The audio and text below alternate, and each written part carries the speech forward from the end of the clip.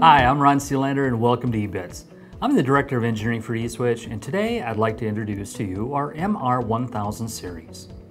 The MR1000 is a magnetic or reed type switch and comes in a two-piece plastic configuration, one piece containing the magnet and the other the actual reed switch. Now we classify this switch as a detector switch and it is intended to be used for position sensing. This would also be used in applications to detect things like if a panel is removed or sensing if a door is either open or closed. Now there are two versions of this product and they differ in the distance where the switch makes and breaks. This is also referred to as the contact gap, which is the make point, and the departure gap, which is the break point. Now there are 18 inch long wires connected to the reed switch to be connected to your power source. For more information on the MR1000 series or any of our other E-Switch products, please visit our website at e-switch.com. Thanks so much for watching and make sure you subscribe to our channel and we'll see you next time.